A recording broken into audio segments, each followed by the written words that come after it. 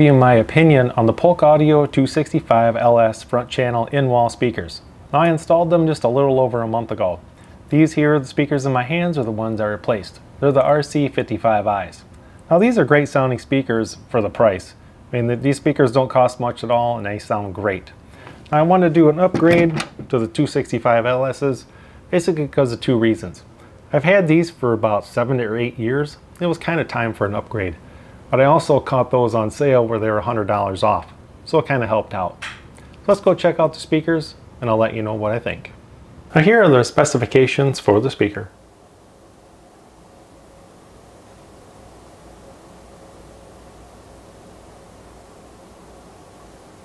Look at the back of the speaker. Really the only connection is your positive and negative for the speaker wire. The rest of it's already fully assembled and ready to go. Before I play any music or a movie, I want to show you guys just a little bit of the install process. So if you do buy these speakers, you know what you're getting into.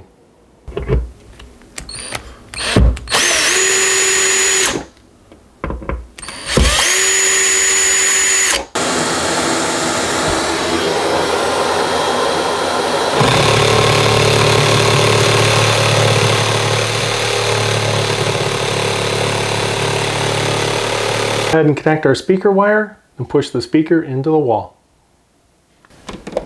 Now you will have to turn this screw a lot. It has about an inch to go before it's going to tighten up to about half inch drywall.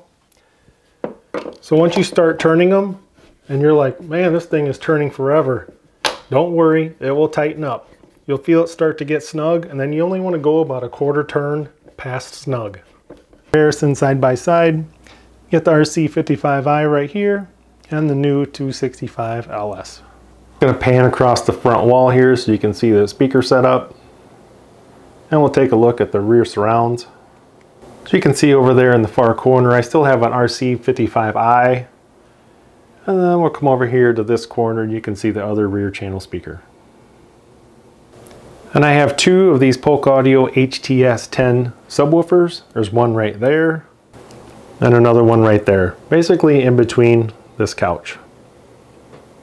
The nice thing about these 265 LSs is they are the vanishing series, which means they have a really fine speaker grill. It is magnetically connected, so you can easily pull them on and off, and that's what the speaker looks like in the wall.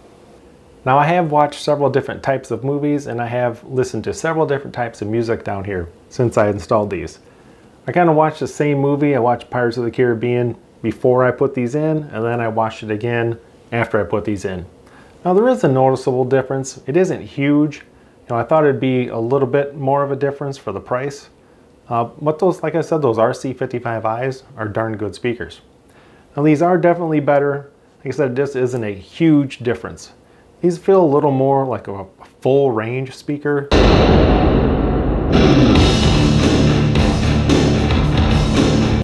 So that was just a little taste of some music for you. I'm gonna go ahead and put a movie in so you can hear some dialogue. Now, most of the dialogue is gonna come from that center channel, but you are gonna hear some from this. Jarvis, what's the view from upstairs? The central building is protected by some kind of energy shield. Strucker's technology is well beyond any other Hydra base we've taken. Scepter must be here.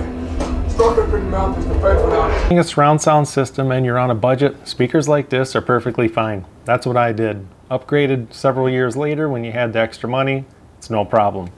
But if you just want the best of the best, you don't want to worry about upgrading, go ahead and put those 265 LSs in and you won't regret it. I think they sound great. I'm glad I put them in. I'll probably be replacing my rear surrounds maybe in another year or two with those exact same speakers. Hope you guys enjoyed the video and thanks for watching.